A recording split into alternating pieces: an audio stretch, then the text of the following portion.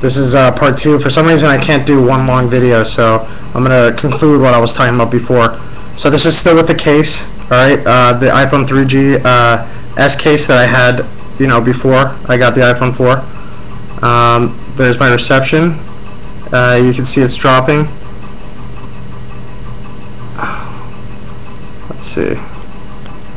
Okay, I'm showing you how I'm holding it. Okay. It drops, uh, looks like two bars. Now let's see if I hold it normally, like as if I was taking a phone call, how it affects it.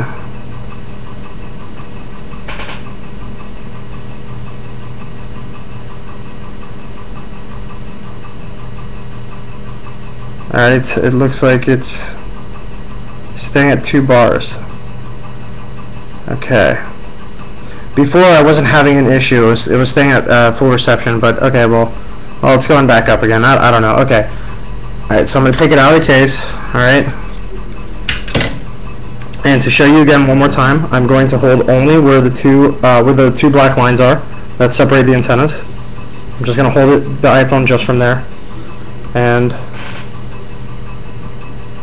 I'll show you what happens to the reception.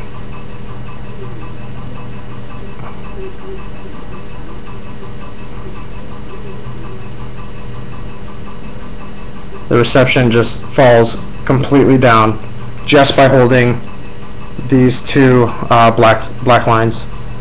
Now I'm gonna go ahead and hold the iPhone from here. Okay, I'm gonna let go of the two lines Sorry. And then watch the reception just climb back up. Boom.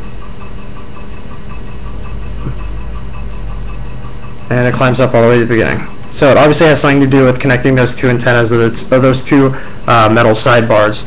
So uh, yeah, that's the issue. Bye.